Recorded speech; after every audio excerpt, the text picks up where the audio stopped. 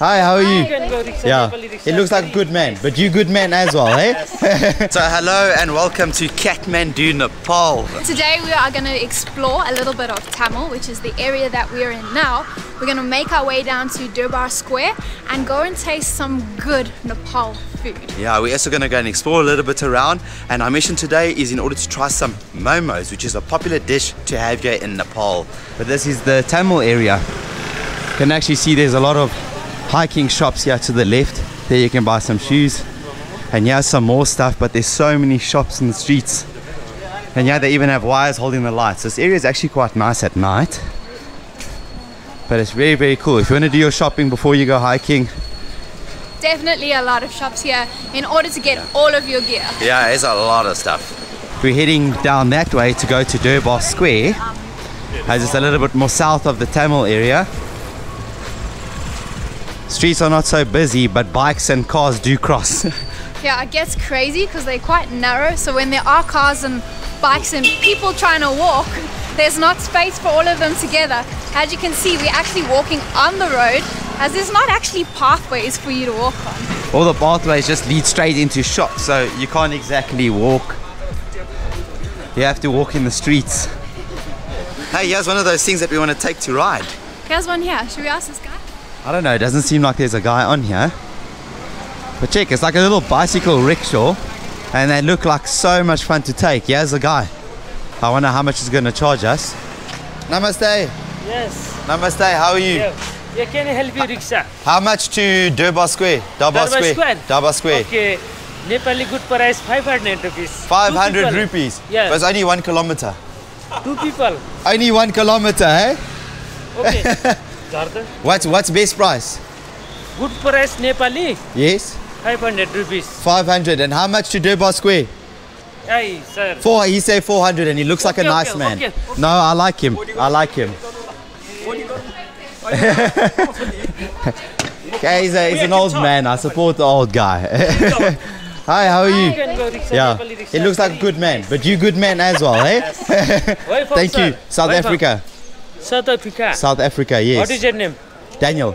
Daniel. Yes. I am Raju. Rajun? Yeah. Nice Raju, Raju. Raju. Yeah. Raju, nice to meet you, hey? Thank you. Welcome. What's your name? Gopal. Bhopal. Bhopal, nice to meet you. Thank you. This guy's got a little bit of rain Okay, cover. okay, okay, no problem. Woo! Oh, okay, let's do this. There we go. I got the bag. Can we both fit in here? There we go. It's a Okay. little bit of a tight squeeze, but We have at least rain cover here. at least we small people. Thank you, Gopal. Check, from in here we don't really have a good view. But we're protected from the rain. so for us to see outside, we gotta like bend our necks here. but yeah, he's got a little bit of an umbrella. and then he's like kind of tied a piece of material over the umbrella just to protect him from the rain. And then ours is kind of made of like bamboo. This looks like bamboo, eh? yeah. And a piece of like cloth or material. And then here at the back we even have a window so we can see what's happening behind us. I don't think he can because he doesn't have any rearview mirror. He's got a mirror. Does he have a mirror? Yeah, there's his mirror. There's a small mirror right there. We're at least won't get ridden over by any traffic because we're in our little own bicycle rickshaw. it's safe this way, hey Gopal? Yes. How long have you been doing this, Uh, Gopal? net. Hello. Whoa, whoa, whoa, hey my beep, friend. beep, beep, beep. Beep, beep. You don't have hooter? Yeah. He's got a, a bell there. Yeah. Ding, ding. How old are you? Me? Yes. 50, 65. 65? Yeah. Sure. Yeah. You are strong for doing this at Thank 65. you. Thank you for taking us around. It seems a bit tough to like ride this thing. I think it's only got one gear, as I can see there in front. And on his handlebars, he doesn't really have other gears. Only one gear, Gopal. Yeah. One gear, hey? Oh, okay. But here we are going through Thamel in Yeah. Nepal, Kathmandu. Stuck in a bit of traffic now. Yeah, yeah, yeah. Okay, let's go, let's go. Move, traffic. Move. I think this is best to have a scooter and not a car because then you're really stuck. Yeah, I know. But, but many temples. Many temples at Durbar Square. eh? Oh, yeah, yeah, yeah. Yeah, yeah,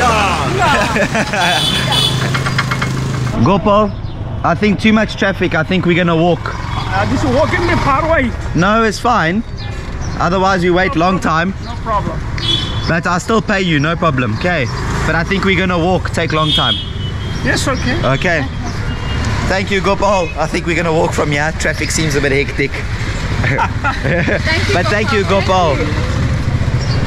You're gonna turn around now, eh? Yes. I'll give you 500. Thank you. That's Thank fine. you, Thank you, Gopal. Hey, look after yourself. Okay. okay. Wow, look at this. There's just so much traffic. Oh. Let's get past this.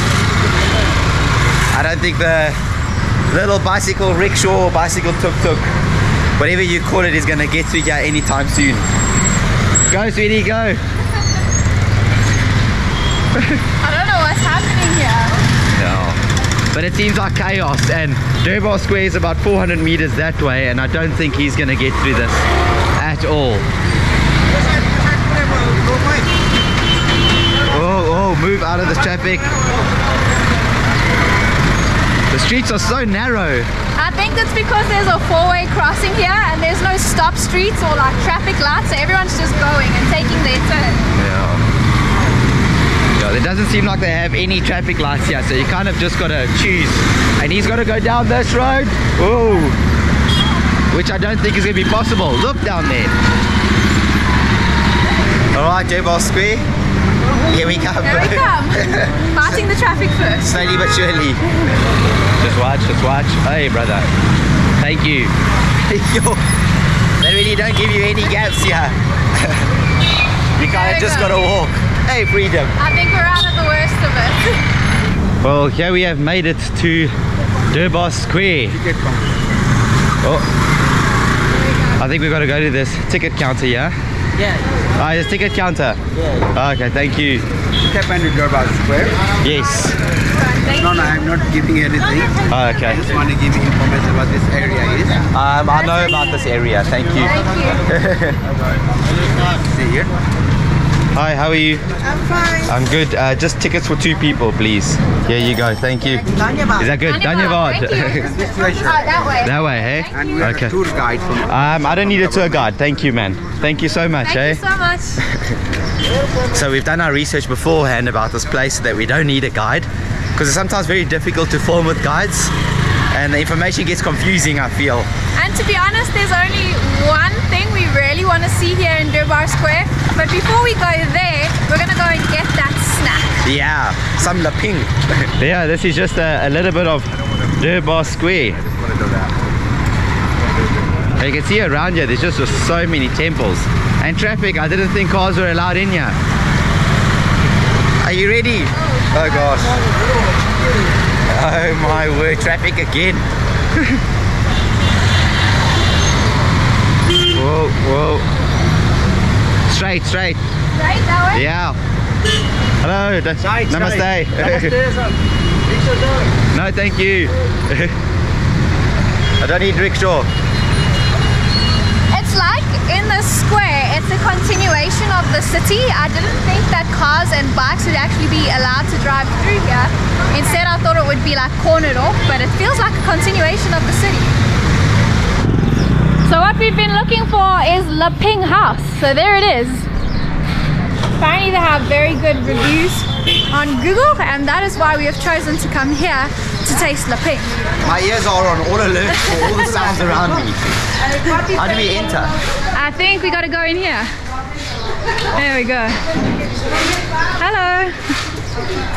Is this Lipping? Lipping. Ah, thank you. Hey, what's up? Hi, what's up? How are you? Good, how about you? Good. So this is the area. I think we have to go upstairs here. Climb the stairs to go to Lipping House. Oh, this is pretty cool. And here we are. Hello, how are you? Good. Is this Lipping House? Yes. Which is the best Lipping? We have not had Lipping before. Noodles. The noodles Lipping? Okay. Yes, please. Uh, yeah. If you recommend that. Thank you. never tasted it, so I will go on local recommendations. It seems like such a small restaurant. There's only like three tables in here. but they got good reviews, so I'm sure it's gonna be good. Is this laping? Yes. Oh, okay, awesome. Thank you. Oh, I did not know it was a soup. I knew that it was made out of noodles, so it's supposed to be like a spicy bean noodle and have like some chilies, but you can see it almost has these, I don't know, crunchy stuff at the top. All in a soup. It's almost like a chips, like a noodle type thing, and then there's the noodles inside. And with the name La Ping, La is cold and Ping is like a jelly type substance. So this dish is actually served cold and then the noodles are supposed to be quite jelly like. This is actually a Tibetan dish, but it has become popular in Nepal to have. So let's give it a taste. Mmm. Oh wow. There's so much flavors in there. Definitely got a bite to it, but not overpowering. And then the noodles are slippery and jelly-like, but then this crunchy stuff at the top gives it this nice crunch. So it's all of these textures and flavors in your mouth, which is pretty good. Nice snack.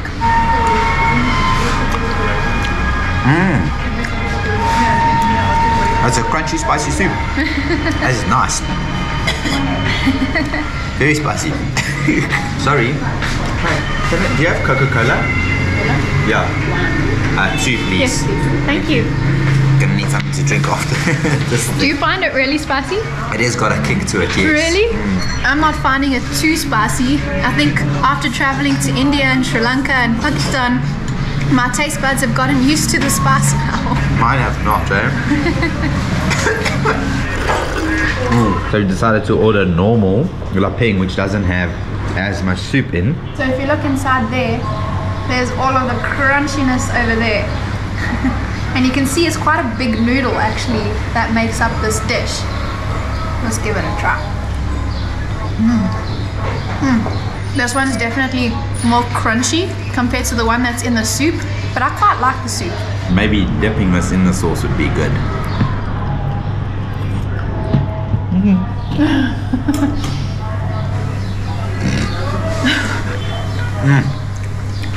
That is nice. That is really, really nice. Definitely a good tasty snack though. It's giving us some energy to go and explore some of Kathmandu. There you go, 250. Thank you so much, eh? Yes, for you. Right, so now that our tummies are satisfied with the laping, we are going to explore Durbar Square. But what we have come here to explore is probably the most popular building in all of Kathmandu and probably the main reason why people actually come to Durbar Square. When we got our tickets, they actually gave us this map in order to navigate Durbar Square. There are over 50 temples within inside the square, so I think a map is definitely needed in order to find your way around. Otherwise, I think you get quite lost. we are looking. Wait, baby, come here. Hold that for me. We are looking to go over there, and I think we're close. We are somewhere around here. Yeah. I think it's over there. Okay. Namaste. Namaste. Namaste. And here we are. We have found it. Let's go and get around to the front of it to give you a better look at what we're looking at. There we go. Wow.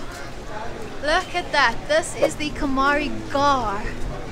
So the reason the Kumari Ghar is so popular is because it's believed to be the home of the living goddess Kumari. And now why they say a living goddess is because it's believed that goddess Taleju actually incarnated the Kumari. And this Kumari is a young child. And why it's a young child is because the Kumari is believed to be pure and supposed to be a virgin. So the goddess incarnates her until she's hit puberty. And then once she's hit puberty, it's believed that the goddess leaves her and then they have to choose a whole nother Kumari again. And this cycle or this procedure in order to choose a new Kumari is actually such a vigorous process because this child that is selected actually needs to reach 32 criterias in order to become the Kumari. They also say that the Kumari sometimes pops out of these windows over here. And then when they see her, they believe that they get blessings and good luck upon them. So sometimes people just stand here in hopes to actually see the living goddess Kumari. I don't think we're going to see her today, So, yeah, we're not going to stand here forever and try and see if we can see her because I think the chances are very rare. But it's really such a pretty building. I love all the carvings that are just around all the windows and doors. Now, the buildings around here are actually said to be about 200 years old. I mean, this Durbar Square here has been here since the 13th century. But then they built these buildings between the 13th and the 18th century. Unfortunately, due to the earthquake in 2015, which is exactly eight years from today, it's the 25th of April, they had to rebuild some of them because they actually got destroyed. And the reason some of them are still under construction, like this one over there, is because they need to be built in the exact same fashion as they were before or in the same state before. So I think it's going to take a while because the skill to build such buildings are kind of lost and I think it's going to be a difficult one to make it look exactly the way it was. Yeah, we can see some of the temples still being built. They're actually using bamboo, such an old form of scaffolding. But bamboo is so strong, so I think it's fine. But we are so used to steel today, and to see this is mainly only seen in Asia. Check out the doggy. He's just sitting Where? there. Hey, bro. Are you building the temple? Dogs. He's guarding the temple. But let's go this way because there's something else that we want to see this side. There's not many things we want to see in this Durbar Square. Yeah, you can see something's also been destroyed due to the earthquake. I mean, a lot of these buildings are built in the style with the red bricks. They're not very strong as they were built a long time ago and they didn't use a lot of steel. So these structures basically collapsed in the earthquake. And this one was just completely broken. Let's just get up close to one of these buildings just to see the carving on it. I mean, this is old. It's old. I feel like it's a that's a wood piece, but all the design is all over the place, even on top there. I actually don't feel safe standing underneath this thing. It doesn't feel like it's put together so well. It's really pretty. The details are so intricate. But here you can just see the design of these temples around here. I think here is a more historical part of Durbar Square. As you can see, so many buildings and pigeons. Run through the pigeon, oh, no, baby. I don't want to run through the pigeons. They scare me. but we're looking. Ah, here it is. We're looking for this statue over here. But this statue is believed to be the fierce form of Lord Shiva, which is a Hindu god. And apparently, they used to use this statue as like a supreme court back in the day because it's believed that if you stand in front of the statue, you cannot tell a lie. Because if you tell a lie, then you are certain for death. So they used to bring people here in order to get the truth out of them because they would tell the truth by standing in front of that statue. So I have a question for you. No, I have a question I for have you. a question for you. Okay, okay. Do you love me? I do love you. No, thank you. if you're lying, then you're die. I was going to ask you the same question. Love do you love me? You're dead. I wonder if people actually get married in front of this statue. Just for security reasons, eh? But look at the color of it. It's got beautiful blue colors on it. The face is quite scary and it's got a few arms. So I can imagine why it is called the fierce god or the fierce, Fierce force. the fierce force of Lord Shiva. This building actually looks like it's in an old British style. Yeah, it doesn't quite seem to fit the rest of the styles around here. Yeah, I know. Like that looks old. That looks like 18th century, but this looks maybe early 90s. It could be a new building. It also just doesn't fit the rest of the styles. No. But I don't know what cool this one means, but yeah, I don't think we're gonna know like a thousand eight hundred years worth of history just in one day. Especially on 50 different types of temples. Yeah. Yo, look how huge that one is. Oh wow. Check that one. That one is huge. I'm trying to look on my map which one this is, but I'm not too sure. Which one could this be? They have pictures here on the map, so I'm trying to. Let's to see like. where there. That's the big one, number ten. Number 10. And sure, check out the size of that oh, one on the ah, map. yeah. It's the Taleju temple. So it's the goddess Taleju's temple. Cool. This temple stands 36.6 meters high. I wonder if we can go stand in front of it just to check the front. It seems like this side is the front area. I think just- we're exiting the Durbar Square now. I think a little bit. I think this whole part's still a little bit part of the Durbar here's Square. the entrance again, or a entrance, should I say, where you have to pay. Yeah, they have a few entrances yeah, so no matter where you go, it is going to cost you a thousand per person in order to enter this Durbar Square. I think for locals it's for free, and then for SAARC country people, uh, they pay a little bit less, like 150 only, like India, India, and Pakistan, Pakistan, Sri Lanka, I think. The, those areas. The areas that are close to here. Yeah, we have a flea market in front of the the Taleju temple. I don't And that think is huge. actually get inside there. No, I don't think we can get inside, but I mean, here's quite a nice view. You can actually see the stature of it from here. It's incredible. Do you see all the wooden carvings on it as well and the golden doors? And check at that, I think that's gold at the top there. Wow, it's massive. Hello, my man. How are you? You're good. What is this? So sweet. Sweet? What's the name? Don't know the name? Name, name? I'm so sorry. Son papri. What? Son papri. Son Papli. Is it sugar? Uh, sugar. Sugar? How much for one? 20 rupees. 20 rupee? Can we get one? One please? piece. Yeah. That looks good. Three piece 15. Three piece 15? No, just one piece. Thank you. There you go. Dhanyavad. Sanyavad. Thank you. Thank you. Name again? Super Son papri. Sun Papi. Okay. Thank you. Oh. Here's your sweetie. Thank you. that looks interesting.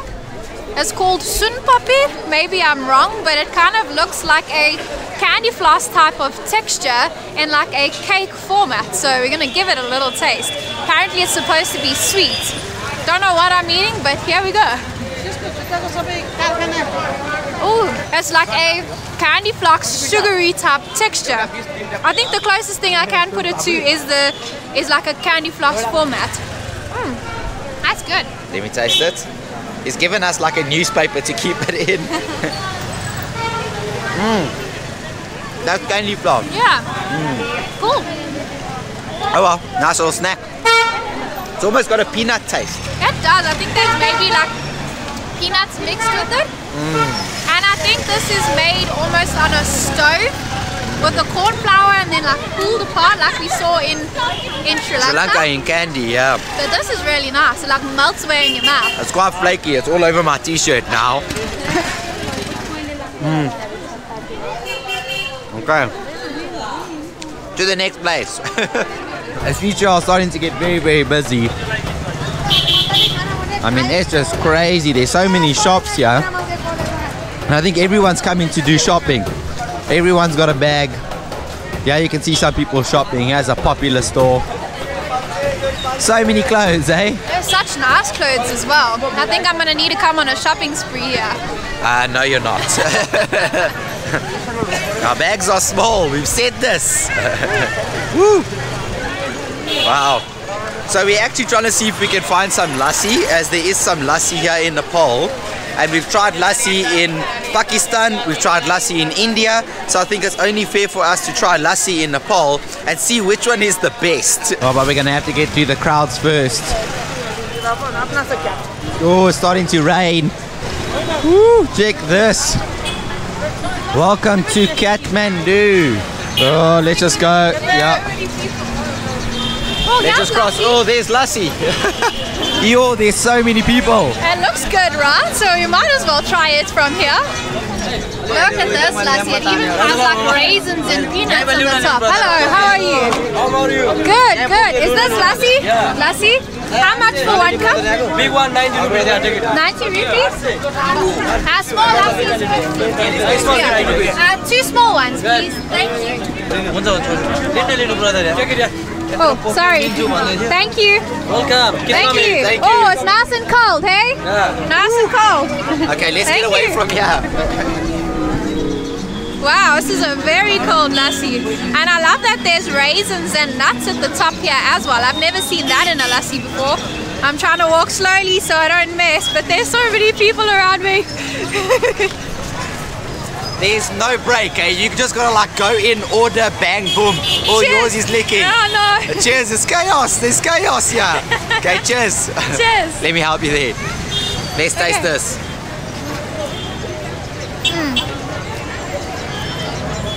This is so yummy. Nepal, you have the best lassi. I'm not gonna lie.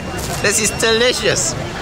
I think what makes it is the crunchiness on top. Yo. And it's super sweet. It's so much sweeter than the other lassies I've tasted. A proper yogurt drink. This is my favorite. I love lassi. If you've been following us on our journey, you'll know that lassi has recently become my favorite drink. So I mm. actually don't think it matters where I am in the world. A lassi is always going to be good to me. Cheers. Cheers.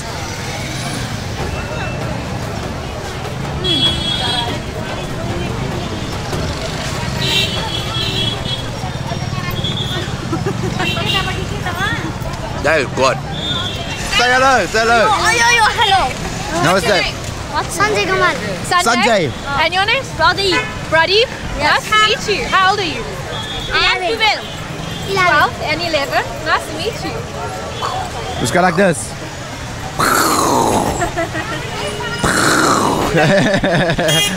Bye. They So just look like two best friends, just like walking the streets. They're so cute. All right, let's go find some momos. thank you, very good lassi, hey, number one. I should stop saying thank you and say Dhanyavad. That's what it is, Dhanyavad. Oh, where's the end? Did you down your lassi? Now I've got all the sweets in my mouth. I already had lassie, thank you. We just had. you can see by my moustache. I think I have a yogurt moustache. His was actually 80 Nepalese rupees, so I think we should have bought theirs. I think it's one entire shop. So we are looking for a place called Famous Momos. According to Google Maps, it should be somewhere here, but all I see is bubble tea and tea houses. and tea houses. Yeah. I mean, there's bubble tea, bubble tea, bubble, Bubble tea, bubble tea. Don't know where this Momo famous is famous. Momo place is. They're supposed to. Hey, there! Oh, there. Okay. You see it? Famous momos. Apparently this has got some good momos. Oh, and oh, they wow. are busy. There's people even sitting on the steps. You know a place is good when there are so many people, so I'm keen to try their momos. Since 1962.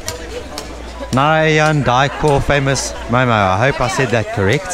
So let's see if we can try some of the local food here in Nepal and taste the momo. I think we order over here. Seems like it. There. Yeah. seems to be an empty. go get a spot. so here's a kitchen. There you can see they're making some momos inside here. The kitchen's actually pretty small. There you can see how tiny it is. Oh, is there upstairs kitchen as well? Ah, okay. Number 50. Okay, so the kitchen. There we are. There's a, a momo. Hi, namaste. Can I please get one buff momo? Dhanyavad. How small is our table? It's such a cute little shop. I'm glad that we actually got a space to sit. I actually have this little log that I need to sit on. Leanne's also sitting on a little log. So I think now we just need to wait for our order. We paid 180 for the Momo and we got a buff Momo. Oh, come here. But check this little shop, literally tiny, tiny, tiny. Then you have basically this table and this table here and then small ones outside. But yeah, mainly people are sitting on the stairs. Sorry, squeeze, squeeze. Three number. Thank you. Here we go. Oh, those delicious. Super steamy. so this is momos. Mo means steam, so this is basically steamed dumplings, and it's a proper Nepali street food dish. Like it's the go-to street food dish, and then they have sauce. I don't know what sauce this is. I think it might be like a peanut or a tangy sauce, but I've seen others pour the sauce on top of the momo. So let's do that. It's kind of what the momos look like. They're these little balls, and inside is the buffalo meat. Sure, that looks delicious. That looks good, right? And they also have some chili. Do you think we should put some chili in the sauce? Yes, let's give it some flavor. Should I just sprinkle it over? Yeah, just don't kill us. That should be fun, right? I think so. Yeah, so these momos. Oh, thank Oh, you. thank you. These momos can basically be filled with chicken or veg, and like Danny said, in our case, buffalo meat. Let's give it a try. I'm excited to try some momos. I hope it's not too hot to bite into.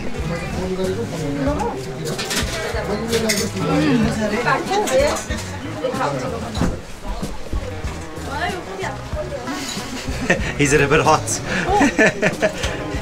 That is just super yummy. Like a normal dumpling that I've tasted, but the sauce and the chili just makes it extra flavorful in your mouth. It's really good. Is it good? It's so good. You're gonna love it. Okay. Don't know what sauce it is. Is it hot, hey? It's hot, so be careful, it might burn your taste buds.